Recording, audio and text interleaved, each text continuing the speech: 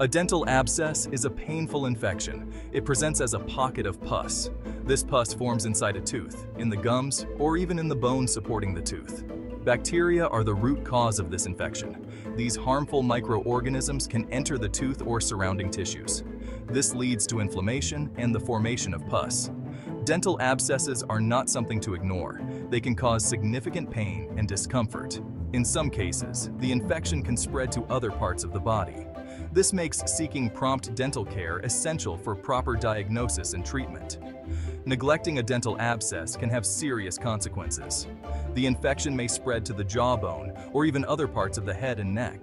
In severe cases, it can even lead to a life-threatening condition called sepsis. There are three main types of dental abscesses, periapical, periodontal, and gingival. Each type occurs in a different area of the tooth or surrounding tissues. A periapical abscess is the most common type. It starts in the pulp, the soft inner part of the tooth containing nerves and blood vessels. When decay or trauma damages the tooth, bacteria can enter the pulp, leading to infection and abscess formation at the tooth's root tip. A periodontal abscess occurs in the gums. It affects the tissues surrounding and supporting the tooth.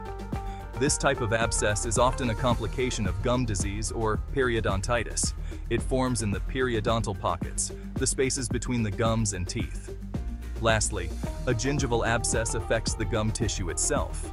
It usually develops due to injury or irritation in the gums. Food particles lodged between the gums and teeth can also lead to this type of abscess. It's important to remember that while these abscesses have different origins, they all share a common cause bacterial infection.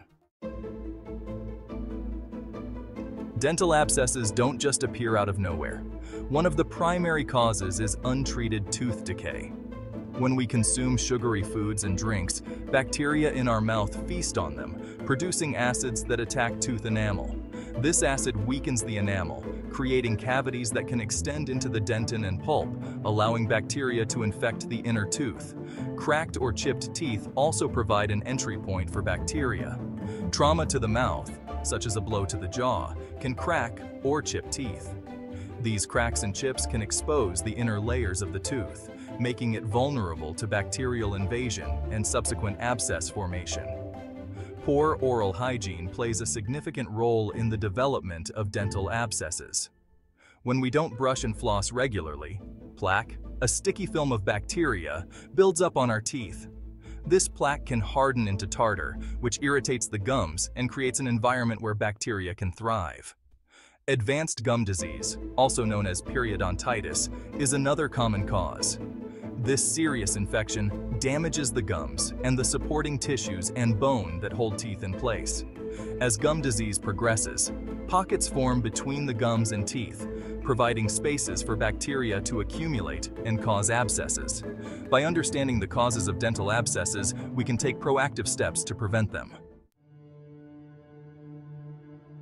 Recognizing the symptoms. Dental abscesses present several symptoms, some more obvious than others. One of the most prominent symptoms is severe, throbbing pain in the affected tooth or gums. This pain often comes on suddenly and can be persistent, radiating to the jaw, ear, or neck. The intensity of the pain can vary, but tends to worsen when biting or chewing. Along with the pain, you may experience swelling in the face or cheek, indicating inflammation in the area surrounding the abscess. The swelling can be tender to the touch and may make it difficult to open the mouth fully. In some cases, the swelling can extend to the lymph nodes in the neck. Another common symptom is fever, a sign that your body is fighting off the infection.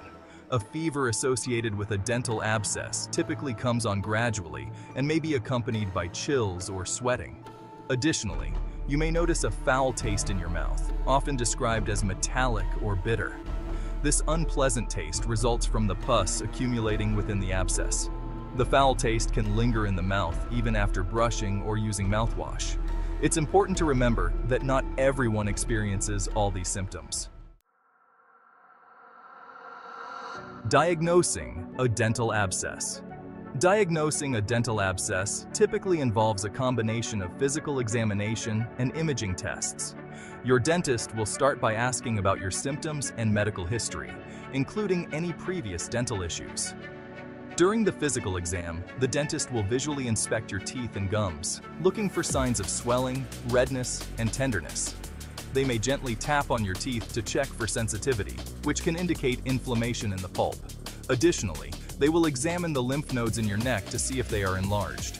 To confirm the diagnosis and determine the extent of the infection, your dentist will likely order dental x-rays. X-rays provide detailed images of your teeth, jawbone, and surrounding tissues, allowing the dentist to visualize the abscess and assess any damage to the tooth or bone. In some cases, a CT scan may be necessary. This imaging technique provides cross-sectional images of the area, offering a more comprehensive view of the infection and its potential spread to adjacent tissues. CT scans are particularly helpful in cases of severe abscesses or when the infection is suspected to have spread beyond the immediate area. Once the diagnosis is confirmed, your dentist can determine the most appropriate treatment plan based on the type, location, and severity of the abscess.